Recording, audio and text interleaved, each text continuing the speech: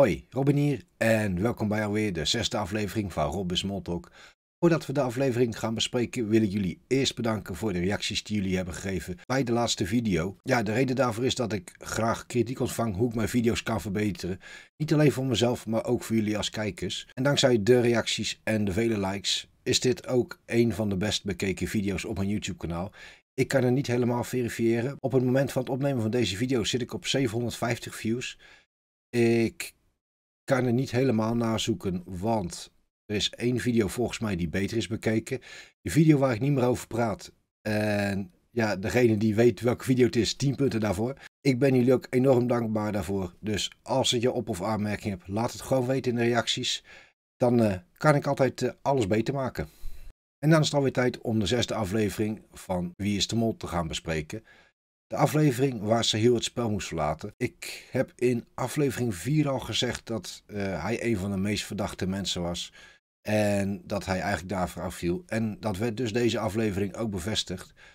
Geluk bij een ongeluk, want ik had uh, bijna mijn punten verkeerd ingezet in de app.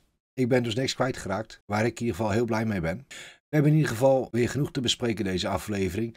Dus gaan we met de golfbeweging richting de titel van de aflevering. Zoals ik net al uh, tussendoor liet vallen, is de titel van de aflevering Golfbeweging. Logischerwijs denk je aan de intro van Wie is de Mol, waar je een jetski met golfbewegingen naar het middelste boot ziet gaan. Ik ben er nog steeds niet uit wie het was of wie het zou kunnen zijn. Ik heb het vermoeden dat het Freesia zou kunnen zijn, omdat zij constant alle kanten op ging met de jetski. Ja, wie denken jullie dat het was? Laat het weten in de reacties. Daarnaast hebben we natuurlijk ook uh, Evren, die de andere kandidaten probeerde te bereiken met zijn portofoon door middel van radiogolven, oftewel golfbewegingen.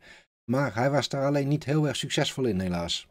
Jongens, niemand communiceert met mij, hè? Niemand communiceert met mij. Ik weet niet waar jullie zijn.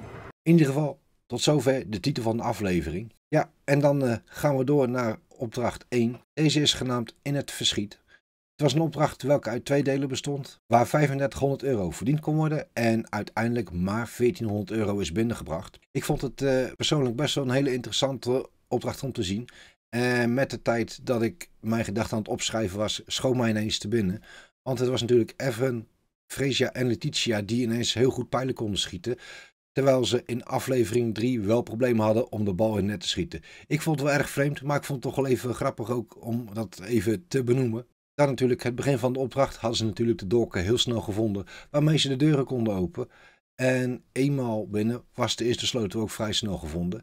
Daarbij was ook een vreemde situatie dat Letitia zei dat haar gevoel zei dat daar ergens in die ruimte een sleutel moest liggen. Ja, ik, ik, ik zit hier te checken. Ik voel echt dat hij hier is. Ja, hoe kan je er voelen waar de sleutel zou liggen? Weet je toevallig al waar deze zou kunnen zijn?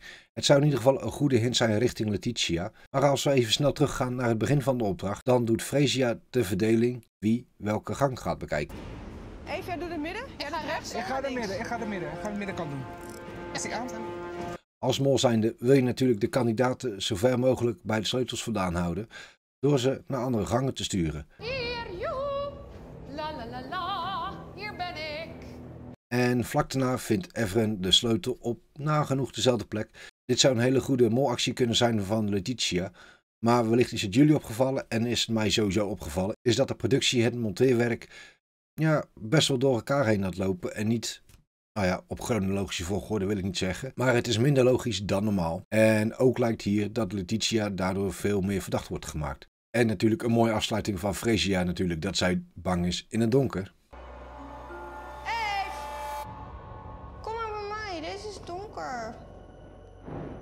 Dit zou een hele mooie hint zijn richting haar, want een mol is blind en kan dus niet zien in het donker. Dan uh, gaan we door naar het andere team en ja, hebben we vooral Thomas die de volgende uitspraak had.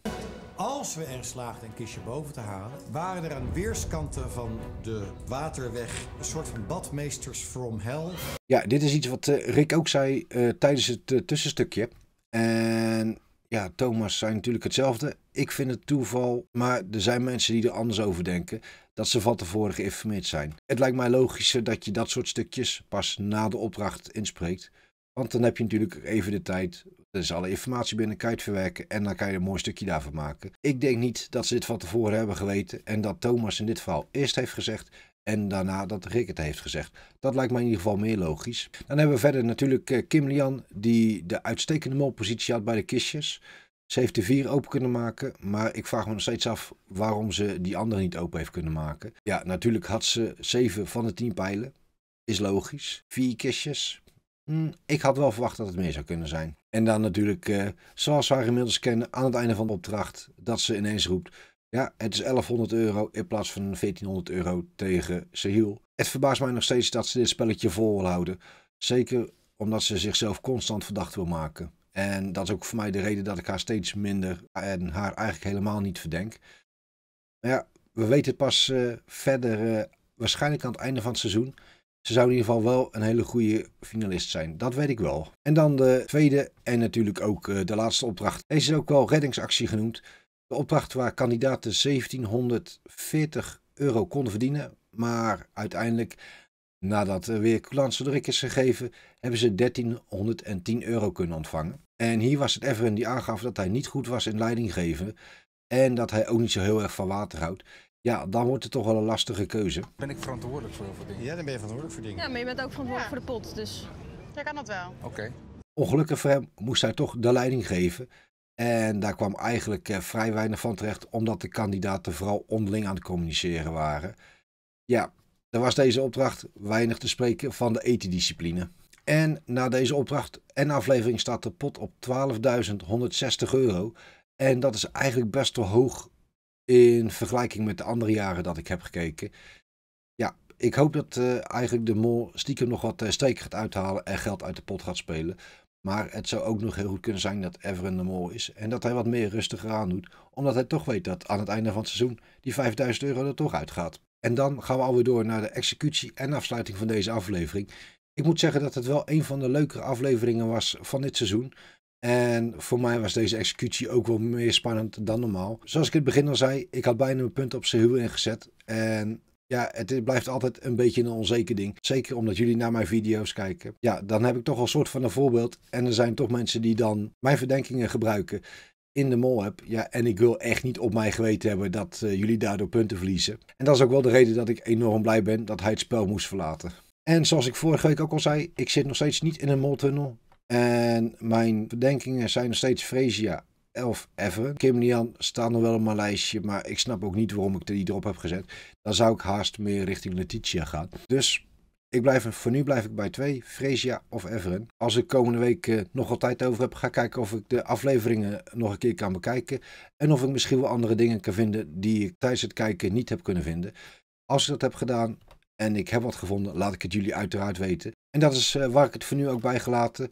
Nogmaals dank voor jullie reacties, voor de likes en voor de vele views. Ik hoop dat jullie ook weer hebben genoten van deze video. Als je het hebt gedaan, laat dan een like achter en vergeet niet te abonneren.